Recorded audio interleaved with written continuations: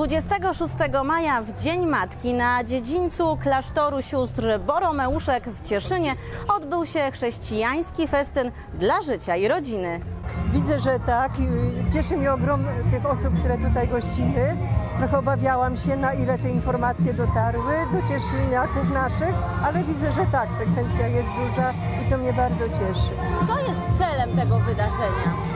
Już od tylu lat, od, od 10 bodajże, tak? Tak, ten festyn i to zakończenie zazwyczaj było takim miejscem zakończenia marszu dla życia i rodziny i to były takie główne tematy, które podejmowano.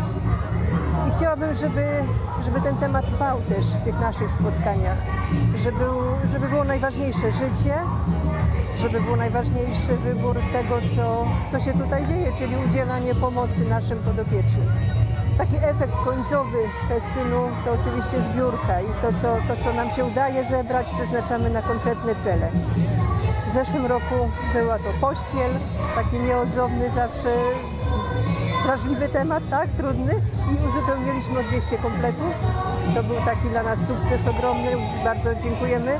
W tym momencie też znowu po raz kolejny dziękuję.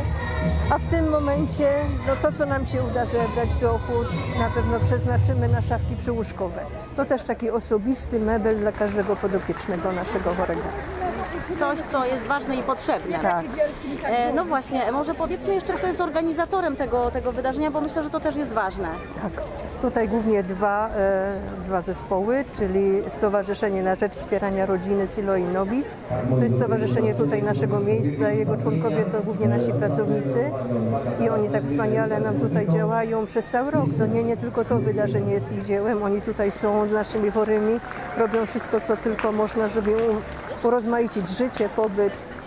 I drugie to jest e, wspólnota w modlitwie mężczyzn, Nikodem.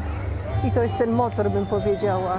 To jest to, co oni tutaj nam tak napędzają życie i my to przyjmujemy od nich.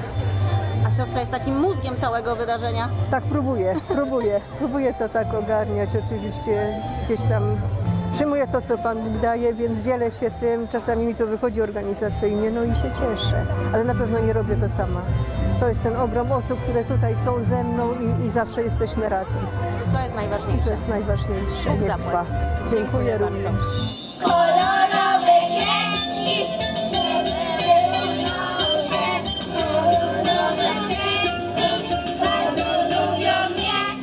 Dla portalu Śląska Cieszyńskiego XPL Marta Szymik.